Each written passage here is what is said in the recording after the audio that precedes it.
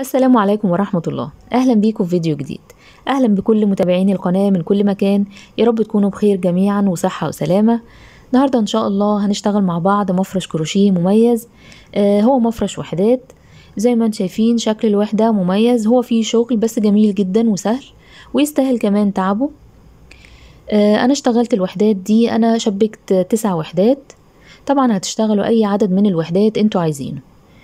مبدئيا كده قبل ما أكمل آه، مقاس الوحدة بتاعتنا 15 سنتي في 15 سنتي وطبعا إحنا أقل عدد بنشبكه من الوحدات بيبقى أربع وحدات. يعني لو حابين نعمل آه، مفرش أنا استخدمت هنا خيط حرير سلسلة. خيط الحرير السلسلة أنتوا عارفين هو خيط رفيع في نفس سمك بالظبط خيط اليز ديفا يعني يعتبر خيط رفيع. ده الخيط اللي أنا استخدمته وطلع لي المقاس اللي أنا قلته لكم. فطبعا آه، أقل مقاس هنشتغله أو أقل وحدات بنشبكها هي أربع وحدات. الأربع وحدات آه، لما هنشبكهم في بعض هيدونا مقاس مفرش 30 سنتي في 30 سنتي. وعلى هذا الأساس هنشتغل آه، قطعة المفرش بتاعنا. أي مقاس طبعا مفرش ترابيزة صغيرة أو مفرش سفرة. ده طبعا لو هتستخدموا خيط في نفس السمك الخيط اللي أنا استخدمته سواء بقى إن كان حرير سلسلة أو أي خيط تاني آه، لكن هو سمك الخيط رفيع. طبعا لو استخدمتوا خيط سميك شوية حجم الوحدة هيبقى أكبر فالمقاسات هتبقى مختلفة عن المقاسات اللي أنا بقولها لكم. تعالوا نبدأ على طول. آه، أنا اشتغلت الوحدات دي التشبيك بتاعها إن شاء الله هيبقى سهل جدا. آه، شكل الوحدات جميل. لما بنشبك عدد من الوحدات بيدينا شكل كده في المنتصف شكل زخرفي. تعالوا نبدأ مع بعض. الإبرة بتاعتي اللي أنا هستخدمها مقاس اتنين ونص مليمتر. طبعا هي الإبرة رفيعة. بلاش تستخدموا إبرة مقاس أصغر من كده. بشتغل على طول آه، عدد من السلاسل هكون بيهم حلقة. أنا هشتغل عشرين سلسلة. ادي واحد اتنين تلاتة أربعة خمسة ستة سبعة تمانية تسعة عشرة حداشر اتناشر تلاتاشر أربعتاشر خمستاشر ستاشر سبعتاشر تمنتاشر تسعتاشر عشرين. اشتغلت عشرين سلسلة. طبعا الحلقة اللي في البداية لو خدتوا بالكم بتبقى واسعة شوية. اللي بنشتغل عليها الدور الأول. بروح على أول سلسلة من العشرين بدخل فيها وبشتغل غرزة منزلقة علشان أقفل الحلقة بتاعتي. نشد الخيط طبعا بخرج من كل لفات الخيط. وببدأ على طول الدور رقم واحد. خيط البداية معايا هاخده تحت الغرز مش هيبقى باين عندي أي حاجة خالص في النهاية. برتفع واحد اتنين تلاتة أربعة أربع سلاسل وبعتبرهم عمود بلفتين. وبكمل أنا هشتغل هنا كلاستر آدي كمان عمود بلفتين. أول عمود خلاص كده ده العمود رقم اتنين بعد الأربع سلاسل. اعتبرت الأربع سلاسل عمود. وبطلع من كمان لفتين. وبسيب لفتين على الإبرة. واشتغل العمود التالت عمود بلفتين غير مكتمل. بطلع من لفتين وكمان لفتين. كده بقى عندي تلات لفات على الإبرة. بطلع من التلات لفات مرة واحدة. أهو بالشكل ده. وبرتفع واحد اتنين تلاتة أربعة خمسة ستة سبعة. سبع سلاسل هيبقوا الفاصل عندي ما بين كل cluster والتانية. بلف لفة على الإبرة والتانية وهشتغل تلات أعمدة غير مكتملين أو cluster أهو بالشكل ده واطلع من لفتين كده معايا لفتين على الإبرة. كمان مرة المرة التانية ألف لفتين وأدخل جوه الحلقة أخد الخيط وأطلع من لفتين. وكمان لفتين كده معايا تلات لفات. والف لفتين على الإبرة واخد الخيط واطلع من لفتين وكمان لفتين. كده معايا أربع لفات على الإبرة. بخرج من الأربع لفات مرة واحدة. كده اشتغلت ال cluster رقم اتنين. وارجع تاني أشتغل واحد اتنين تلاتة أربعة خمسة ستة سبعة سبع سلاسل فاصل وبكمل بنفس الطريقة. ألف لفتين على الإبرة واشتغل cluster. أطلع من لفتين وكمان لفتين وبسيب لفتين على الإبرة. كده المرة الأولى ادي المرة التانية. بطلع من لفتين وكمان لفتين. معايا تلات لفات. العمود رقم تلاتة. بلف لفتين على الإبرة وبشتغل العمود من جوه الحلقة. أطلع من لفتين وكمان لفتين. وخلاص كده عندي أربع لفات على الإبرة بطلع منهم كلهم. وكده اشتغلت الكلاستر والفاصل بتاعي السبع سلاسل ما بين كل cluster والتانية. أنا محتاجة أشتغل 12 cluster جوه الحلقة دي والفاصل بتاعنا سبع سلاسل. هكمل شغل بنفس الطريقة 12 cluster وهرجع لكم نقفلهم مع بعض في نهاية الدور ونخلي بالنا طبعا خط البداية واخدينه معانا لحد ما يختفي. أنا هكمل الدور وهرجع لكم في نهايته. وخلاص خلصت الدور رقم واحد. اشتغلت 12 cluster أو بالشكل ده طبعا متأكدين من العدد بتاعنا. والفواصل سبع سلاسل. اشتغلت خلاص سبع سلاسل فاصل في النهاية. أو سبع سلاسل. وبقفل الدور في السلسلة رقم واحد من أول سلاسل اشتغلتهم فاصل أول سبع سلاسل. أهي شايفين هي باينة جدا. سلسلة رقم واحد. بدخل وبشتغل غرزة منزلقة. اهو بالشكل ده ونطلع من اللفة التانية. وكده خلصنا الدور رقم واحد. هنبدأ على طول في الدور رقم اتنين من جوه الفراغ. بتنقل الفراغ بغرزة منزلقة. آدي أول فراغ بدخل فيه وبشتغل غرزة منزلقة. وبرتفع سلسلة. وكمان غرزة منزلقة من جوه الفراغ. أو شايفين بدخل جوه الفراغ وبشتغل غرزة منزلقة. أنا عايزة أتحرك جوه الفراغ. برتفع. واحد اتنين تلاتة أربعة. هشتغل كلاستر تاني مكونة من تلات أعمدة. نشتغل كده العمود التاني. خلاص أول أربع سلاسل اعتبرتهم عمود. بطلع من لفتين بس. وأدي كمان لفتين. والعمود رقم تلاتة. بطلع من لفتين. وكمان لفتين. معايا تلات لفات على الإبرة بطلع منهم كلهم. أهو الشكل ده تلات لفات عندنا. طبعا دي أول cluster بنطلع من التلات لفات. وهنا هنشتغل إحنا دلوقتي في الفراغ بنشتغل خمس سلاسل فاصل ولسه مكملين شغل في نفس الفراغ. هشتغل كمان cluster مكونة من تلات أعمدة بلفتين. ألف لفتين على الإبرة وأدخل جوه الفراغ. وأطلع من لفتين وكمان لفتين. وعندي لفتين بلف كمان مرة.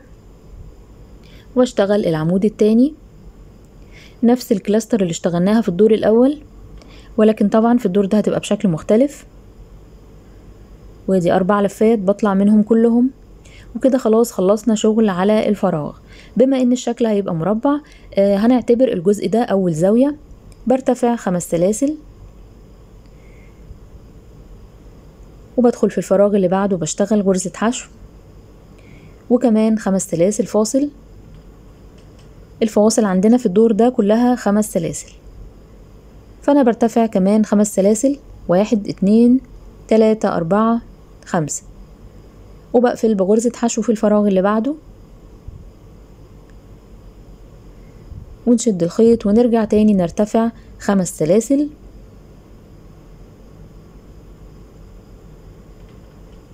وهنا هنشتغل كمان اتنين cluster في الفراغ اللي جاي اللي هو يعتبر الزاوية التانية للمربع. هلف لفتين على الإبرة شايفين؟ آدي الزاوية التانية. لفتين على الإبرة ونشتغل في الفراغ على طول. آه cluster. أو نطلع من لفتين معايا لفتين. وكمان مرة بطلع من لفتين وكمان لفتين. والمرة التالتة. اهو بنفس الطريقة كده معايا أربع لفات بخرج منهم كلهم. ونشتغل الفاصل خمس سلاسل. وكمان كلاستر جوه الفراغ. بلف لفتين وبدخل أشتغل تلات أعمدة بلفتين غير مكتملة.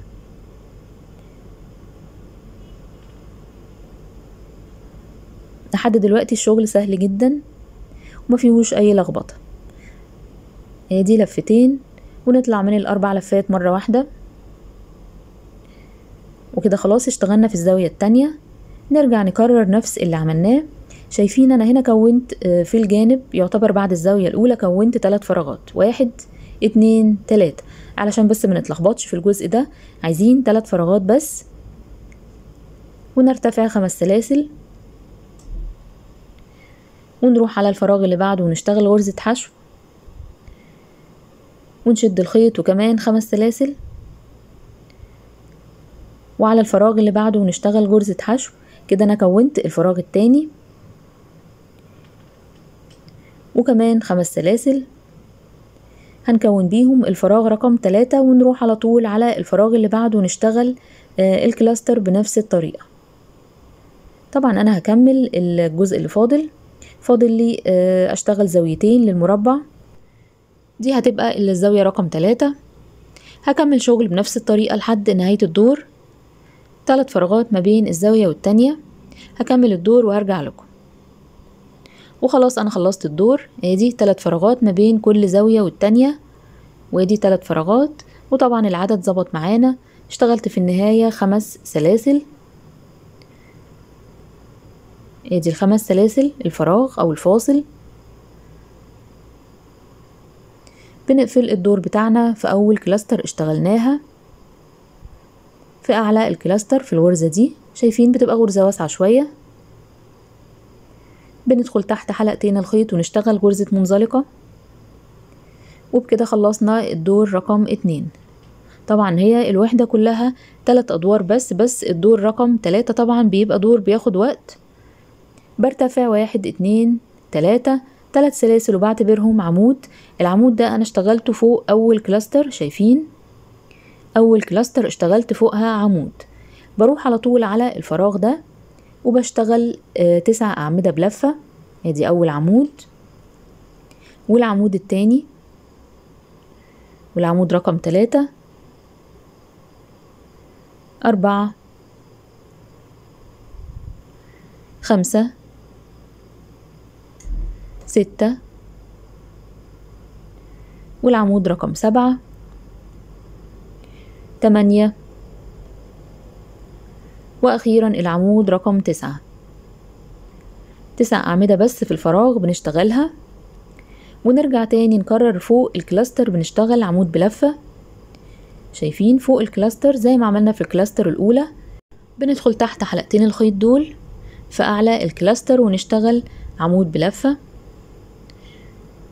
ونروح على الفراغ اللي جاي اللي هو كان خمس سلاسل اللي هو الفراغ ده بشتغل فيه خمس أعمدة بلفة ادي العمود الأول وادي العمود التاني.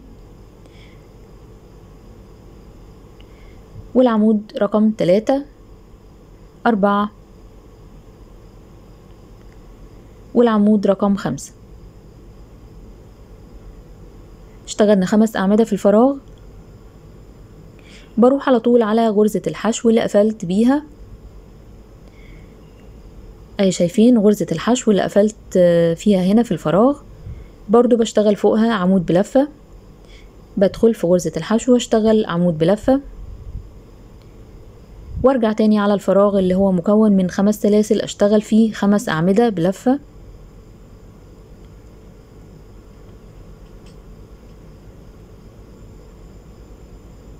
يعني إحنا عشان ما نتلخبطش فوق الكلاستر بنشتغل عمود وفوق غرزة الحشو بنشتغل عمود. آدي خمس أعمدة بلفة. ونرجع تاني فوق غرزة الحشو بشتغل عمود بلفة. نخلي بالنا إحنا مش هنكمل بالطريقة دي. علشان بس ما تتسرعوش ونقولوا هنكمل الوحدة بنفس الطريقة كده. لا إحنا بنقف لحد هنا. شايفين؟ أنا اشتغلت خلاص على الفراغ ده. برتفع. واحد اتنين تلاتة أربعة خمسة ستة سبعة تمانية تسعة عشرة حداشر اتناشر. بنرتفع اتناشر سلسلة آه ونرفع الإبرة كده من الخيط. بروح على العمود اللي اشتغلته فوق غرزة الحشو. شايفين العمود ده؟ هو ده العمود اللي بدخل فيه. بدخل بالإبرة تحت حرف الفي وبسحب حلقة الخيط اللي أنا طلعت الإبرة منها. وبسحب الناحية التانية بغرزة منزلقة. أهو بعديها من الحلقة وابتدي على طول شغل غرزة حشو في البداية ونشد الخيط طبعا وغرزة نص عمود. تلات لفات على الإبرة بطلع من التلات لفات مرة واحدة. ادي اللفة التانية واللفة التالتة. وبعد كده بنشتغل خمس أعمدة بلفة. ادي العمود الأول. طبعا بنطلع من لفتين وكمان لفتين. والعمود التاني. والعمود رقم تلاتة. أربعة. والعمود رقم خمسة. ومن هنا بنشتغل آه، غرزة بيكو. هنشتغلها من آه، أربع سلاسل. واحد اتنين تلاتة أربعة. يعني عايزة أكون حلقة صغيرة بقفلها في العمود رقم خمسة تحت حلقتين الخيط دول. لسه هكررها معاكم تاني برضو دلوقتي وبشتغل غرزة منزلقة أهو بالشكل ده. وبرجع تاني أشتغل خمس أعمدة بلفة. العمود الأول والعمود التاني تلاتة أربعة والعمود رقم خمسة. ونرجع تاني نكرر آه، غرزة البيكو أو الفراغ الصغير. واحد اتنين تلاتة أربعة. أربع سلاسل بس. وبنقفل في حلقتين الخيط بتوع العمود رقم خمسة. ونشتغل غرزة منزلقة. أو بالشكل ده. وهرجع تاني أكرر خمس أعمدة بلفة. العمود الأول. والعمود رقم اتنين. تلاتة. أربعة. والعمود رقم خمسة. أهو بالشكل ده. أنا هرجع تاني أكرر زي ما بدأت بس يعني مش بالظبط. أنا اشتغلت نص عمود. ادي النص عمود. بطلع من التلات لفات. أنا كنت اشتغلت طبعا في البداية حشو وبعدها نص عمود. أنا هنا بشتغل النص عمود بس مش هشتغل آه، بعدها حشو. زي ما بدأت. أو فاكرين إحنا ابتدينا بحشو وبعدها نص عمود قبل الأعمدة اللي بلفة. هنا هشتغل غرزة منزلقة. لأن أنا هرجع تاني أكمل شغل الأعمدة. بشتغل غرزة منزلقة. إحنا لسه جوه الحلقة. وأدي الشكل عندنا. نرجع نكمل. طبعا بنكمل شغل الأعمدة. شايفين الفراغ اللي أنا وقفت عنده؟ برجع تاني للفراغ عشان أكمل شغل الأعمدة. على طول بدون أي فواصل بنزل في الفراغ وبشتغل خمس أعمدة. ادي العمود الأول. ونحاول نشد العمود الأول شوية ادي العمود التاني. والتالت والعمود الرابع.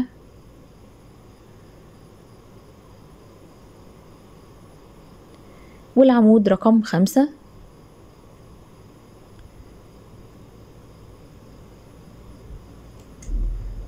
وكمان مرة فوق الكلاستر بشتغل عمود بلفة. فوق الكلاستر على طول. أهو نشتغل عمود بلفة. وكده خلصنا شغل على الفراغ ونرجع تاني نكمل الشكل بتاعنا. أنا كده اشتغلت أول جزء فيه. برتفع اتناشر سلسلة. واحد اتنين تلاتة أربعة خمسة ستة سبعة تمانية تسعة عشرة حداشر اتناشر. اتناشر سلسلة. وبنلف القطعة على الظهر. شايفين غرزتين البيكو اللي إحنا اشتغلناهم. هدخل في أول غرزة بيكو. وبشتغل غرزة حشو. لفتين على الإبرة بطلع من اللفتين وبشتغل تسع سلاسل واحد اتنين تلاتة أربعة خمسة ستة سبعة تمانية تسعة. تسع سلاسل وبروح على غرزة البيكو التانية وبشتغل غرزة حشو.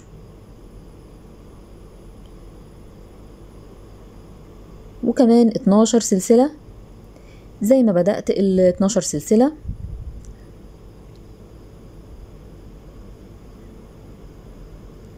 اهو بالشكل ده إحنا لسه شغالين على الظهر من غير أي لخبطة.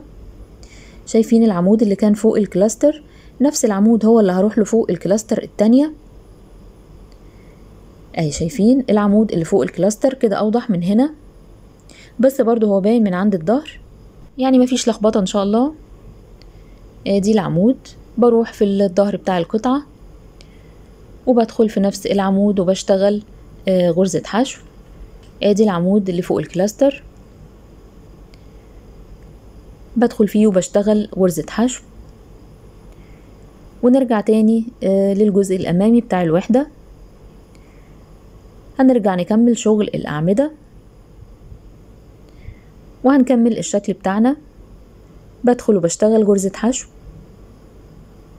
وبعد غرزة الحشو طبعا نظبط الغرز ونشد الخيط. ونكمل غرزة نص عمود. أو بالشكل ده عندي تلات لفات. بطلع من التلات لفات. ونرجع تاني نشتغل خمس أعمدة بلفة. العمود الأول. العمود التاني. تلاتة.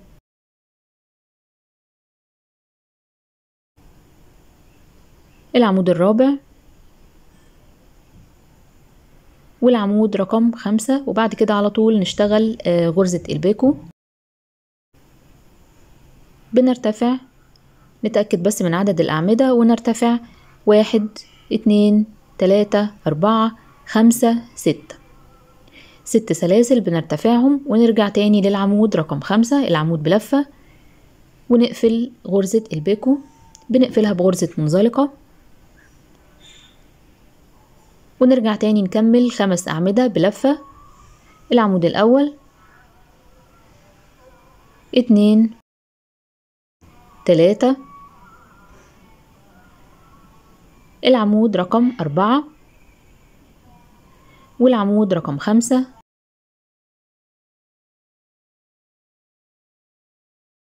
ونص عمود زي ما بدأنا. تلات لفات نطلع من التلات لفات وهنا هنشتغل آه، غرزة حشو.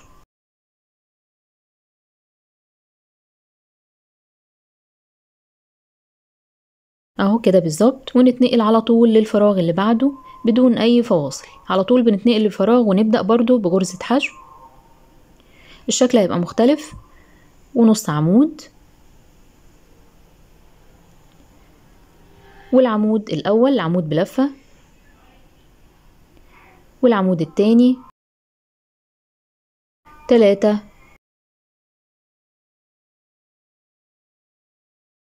والعمود رقم خمسة. نشتغل تاني ست سلاسل علشان نشتغل غرزة بيكو. واحد اتنين تلاتة أربعة خمسة ستة. والست سلاسل دول نقفلهم في العمود بلفة رقم خمسة تحت لفتين الخيط بالشكل ده ونشتغل على طول غرزة منزلقة. ونكرر تاني خمس أعمدة بلفة. إحنا لسه هنشتغل بيكو تاني في الفراغ ده. اهو بالشكل ده أعمدة بلفة.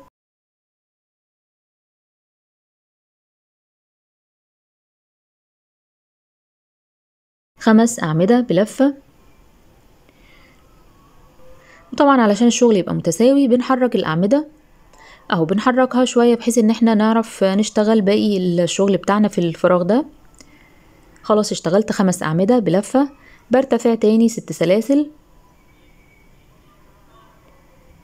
ونقفلهم آه، بغرزة منزلقة في آخر لفتين خيط للعمود بلفة. أنا بحاول أشتغل ببطء في الجزء ده لأن أنا هشتغل معاكم جزء واحد وأنتوا هتكملوا التلات أجزاء. وأرجع تاني أشتغل آه، خمس أعمدة بلفة. ادي العمود التاني والتالت والعمود رقم أربعة والعمود رقم خمسة وهرجع تاني بالعكس أشتغل آه، نص عمود وبعد كده غرزة حشو. ادي النص عمود في النهاية. وبعد كده غرزة حشو.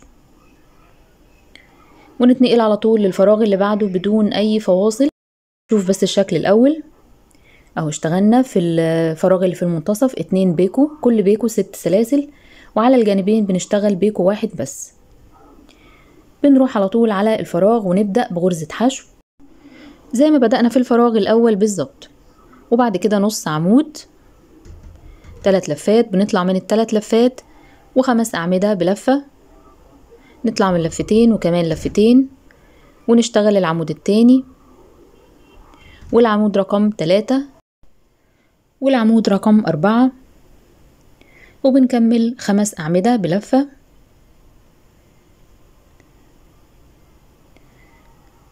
وبعد الخمس أعمدة نرتفع ست سلاسل. ونقفل بمنزلقة في العمود رقم خمسة. ونرجع تاني نشتغل خمس أعمدة بلفة. واحد اتنين تلاتة. والعمود الرابع. طبعا القطعة دي اللي بيشتغلها لازم يبقى على علم طبعا بأساسيات ومبادئ الكروشيه. ونص عمود في النهاية. وطبعا إحنا هنا هننزل نكمل شغل الأعمدة. طالما هننزل نكمل شغل الأعمدة يبقى مش بنشتغل في النهاية في نهاية الفراغ ده مش بنشتغل غرزة حشو في النهاية. اهو شايفين الشكل كنا بنتنقل على طول نهاية الفراغ غرزة حشو. هنا هننهي بغرزة منزلقة. طالما هننزل نكمل شغل الأعمدة تاني في الفراغ. آدي غرزة منزلقة وعلى طول ننزل نكمل شغل الأعمدة. ما بين الكلاستر والتانية كنا بنشتغل تسع أعمدة. أهو بالشكل ده. العمود رقم اتنين والعمود رقم تلاتة. ونكملهم تسع أعمدة.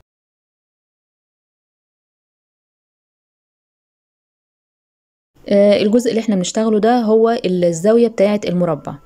لأن طبعا الغرزة بتاعتنا بنشتغلها على الأربع جوانب. اشتغلنا خلاص كده جانب منهم وبعد كده بنتنقل الزاوية. خلصنا تسع أعمدة بلفة في الفراغ. زي ما عملنا الجزء ده تسع أعمدة بلفة ما بين الفراغ والتاني. طبعا إحنا لسه هنشتغل عمود فوق ال cluster. ما ننساهوش يا ريت قبل ما نتنقل للفراغ. بشتغل فوق ال cluster على طول. أهو في الجزء ده. تحت لفتين الخيط بندخل ونشتغل عمود بلفة. ونرجع تاني للفراغ ونشتغل خمس أعمدة بلفة. واحد اتنين تلاتة أربعة. والعمود رقم خمسة. تكرار لنفس الجزء اللي إحنا بدأناه. وفوق غرزة الحشو بنشتغل عمود بلفة. ونرجع تاني للفراغ نشتغل خمس أعمدة. ده الفراغ اللي هنشتغله. وبعد كده على طول هنبدأ شغل الجانب بتاعنا.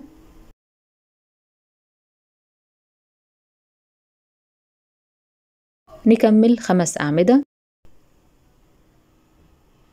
ونرجع تاني فوق غرزة الحشو بنشتغل عمود بلفة. آه طريقة الشغل على فكرة سهلة جدا جدا بس هي عايزة بس شوية تركيز. بنقف لحد الفراغ ده. هنشتغل طبعا زي ما اشتغلنا في الجانب ده بس نراعي الشغل في الفراغات. آه هنشتغل لحد أنهي فراغ وبعد كده نتوقف ونشتغل الجانب بتاعنا زي ما أنا اشتغلت كده. أنا هسيبكم بقى في الجزء ده وأنتوا هتكملوا. أنا هرجع لكم تاني في الجزء بتاع التشبيك. بس هرتفع السلاسل. 12 سلسلة بنرتفعهم. 12 سلسلة. وبنروح على طول على العمود اللي كان فوق غرزة الحشو. أهو شايفين العمود اللي فوق غرزة الحشو على طول. من غير ما نعد الأعمدة هو العمود واضح. بندخل تحت حرف الفي ونسحب الخيط بتاعنا. وعلى طول بنبدأ شغل في الفراغ زي ما عملت بالظبط في الجانب الأول. أنا همشي بنفس الطريقة كده. هنشتغل الشغل ده ده الجزء الأول. هشتغل طبعا التلات جوانب وهرجع لكم في الجانب الرابع. وخلصت التلات جوانب. عايزة أكد عليكم على حاجة في الجانب الرابع. لما بنيجي نشتغل وبننهي الشغل من الجانب ده يعني بنقفل الوحدة هنا. برجع أشتغل الأعمدة. زي ما إحنا متعودين زي ما عملنا في الجانب الأول. بشتغل الخمس أعمدة. أدي العمود التاني والعمود التالت والعمود رقم أربعة والعمود رقم خمسة. هنا كنا على طول بنرتفع 12 سلسلة وبنكمل شغل عندنا في الجانب. لكن هنا خلاص إحنا هنقفل القطعة. فأنا بروح عند السلسلة رقم تلاتة بنعد السلاسل. أول تلات سلاسل إحنا ارتفعنا بيهم. واحد أهو واحد اتنين تلاتة. وبدخل على طول في السلسلة التالتة وبشتغل غرزة منزلقة. وكده قفلنا الوحدة. ولسه هنرجع للجزء ده تاني. أنا معاكم برضو هنرجع له تاني في المكان ده. بس بعد ما اخلص نفس الشغل العادي اللي بنشتغله في الجانب أنا هكمل الجانب ده لحد النهاية. وهرجع لكم نقفل مع بعض الوحدة. وخلاص أنا خلصت الوحدة. وخلصت شغل في الفراغ رقم تلاتة. أهو شايفين بنشتغل الأعمدة اشتغلت خمس أعمدة بلفة. هنا هننهي الشغل.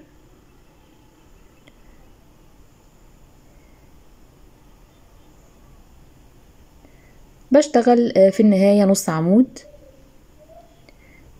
وهنا هنشتغل غرزة حشو في النهاية لأن أنا مش هنزل أكمل شغل الأعمدة في الفراغات. آدي غرزة حشو. وبرجع على طول على المكان اللي أنا قفلت فيه بغرزة منزلقة. نوزع الأعمدة كويس ونخلي بالنا طبعا من الخطوة دي علشان الوحدة ما يبقاش فيها أي جزء معوج في النهاية. آدي المكان اللي قفلت فيه بغرزة منزلقة. أو بنزل له تاني وبشتغل. عند التلات سلاسل ارتفاع وبشتغل غرزة منزلقة. وخلاص كده خلصت شغل الوحدة. أو كده نهينا الشغل. لسه طبعا ما عملناش في الوحدة أي حاجة ما فردناهاش بأي طريقة. وزي ما إحنا متعودين طبعا أول وحدة بتبقى وحدة مكتملة.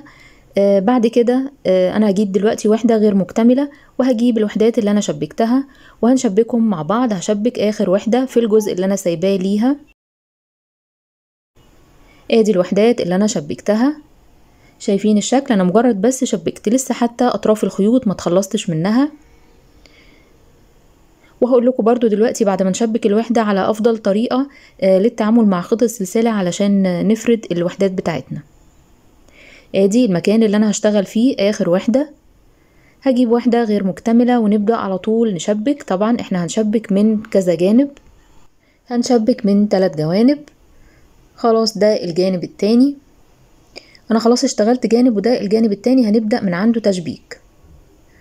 أهو شايفين دي الأماكن اللي بنشبك منها. الوحدة في الوحدة التانية من عند غرزة البيكو. اهو شايفين اشتغلت الجانب الأول خلاص. والجانب التاني اشتغلت الفراغ اللي بيبقى في المنتصف وبعد كده التلات فراغات. الفراغ ده أنا هشتغله لحد النهاية لأن إحنا مش هنشبك من عنده. هكمل شغل في الفراغ ده لحد النهاية. بنفس الطريقة طبعا. خلاص خلصت شغل على الفراغ. هشتغل برضو على الفراغ التاني لحد ما هوصل للجزء اللي أنا عايزة أشبك من عنده. خلاص اشتغلت هنا لحد غرزة البيكو التانية. بشتغل منها تلات سلاسل بس لأن دي اللي إحنا بنشبك من عندها في الجزء ده. أو شايفين؟ أهو ده الجزء اللي بنشبك من عنده. بدخل في غرزة البيكو المقابلة للغرزة اللي أنا عايزة أشبك فيها. أنا اشتغلت تلات سلاسل خلاص. هعدي بالخيط الناحية التانية لغرزة البيكو وهكملهم.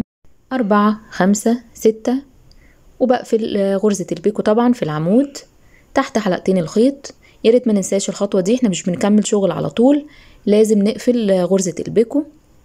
ما ننساش أهو بنقفل بمنزلقة. وطبعا بنكمل تاني الشغل بتاعنا أهو شايفين شكل التشبيك. بكمل طبعا بنفس طريقتنا. نشتغل الخمس أعمدة.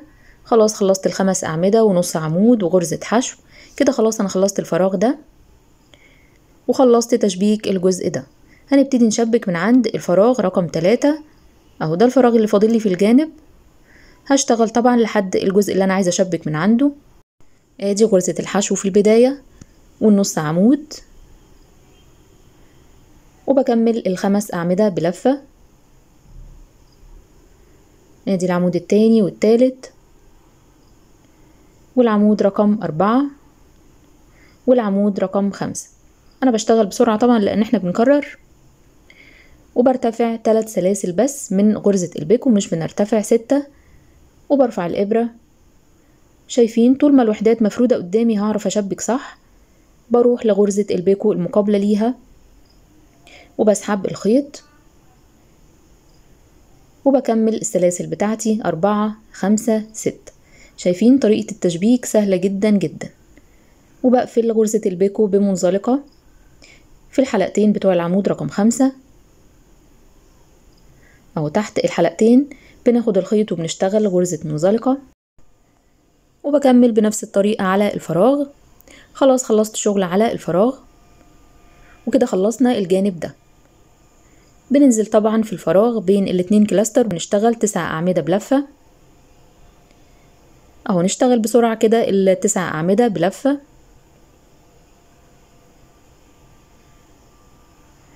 تسع أعمدة وما ننساش بنشتغل فوق الكلاستر بنشتغل عمود بلفة وعلى الفراغ بنشتغل خمس أعمدة بلفة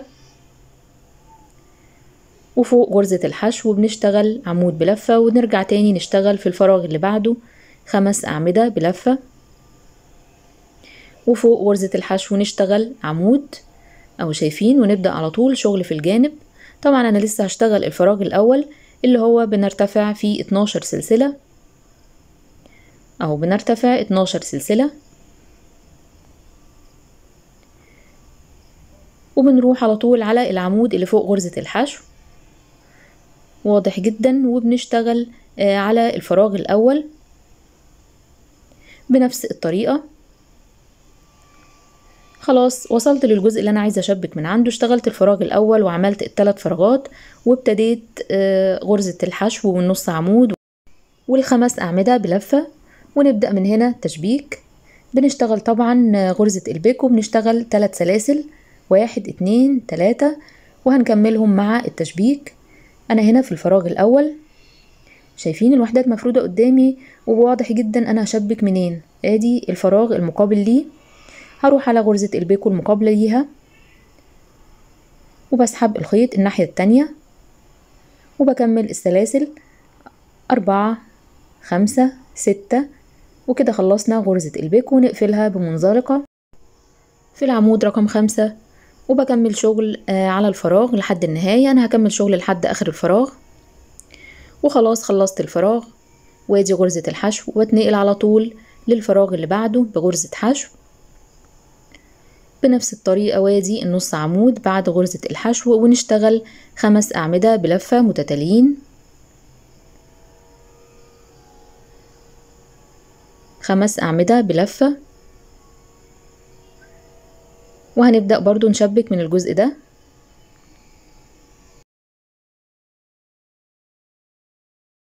وثلاث سلاسل من غرزة البيكو.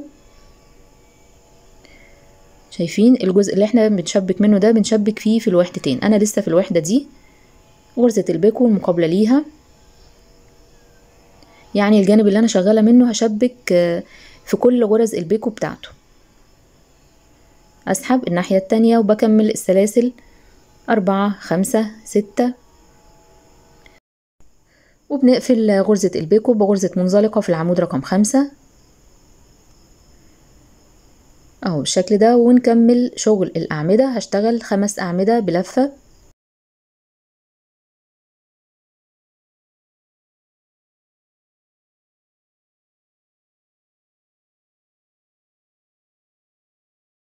ادي الخمس أعمدة. ونحرك الأعمدة. وتلات سلاسل بس من غرزة البيكو. وافرد الوحدات ونشوف هنشبك دلوقتي في الوحدة التانية. اتنقلنا خلاص للوحدة اللي فوق. شبكنا خلاص الوحدة اللي في الجنب ده. هروح للوحدة اللي فوق وابتدي أشبكها. وادي غرزة البيكو المقابلة ليها. واضحة جدا. بس أنا هلف الوحدات برضو علشان أعرف أشتغل. اهو كده ألف الوحدات برضو علشان تبقى واضحة قدامكم وادي غرزة البيكو المقابلة ليها بدخل فيها. وبنكمل السلاسل بتاعتنا. أنا اشتغلت تلات سلاسل. نمسك بس الخيط كويس كده ونشده ونكمل. أربعة خمسة ستة. وخلصنا غرزة البيكو فاضل نقفلها. في العمود رقم خمسة.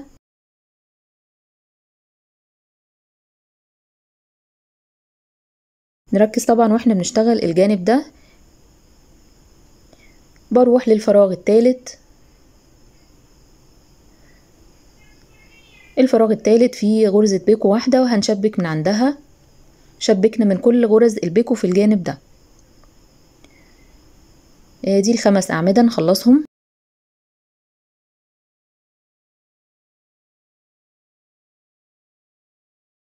ونشتغل غرزة البيكو تلات سلاسل بس منها وبنكمل التلاتة التانيين في التشبيك وبشبك غرزة البيكو بنفس الطريقة وطبعا بشتغل الجانب الرابع وبشبكه بنفس الطريقة كده زي ما عملنا بالظبط. وخلاص شبكت الوحدة بتاعتي.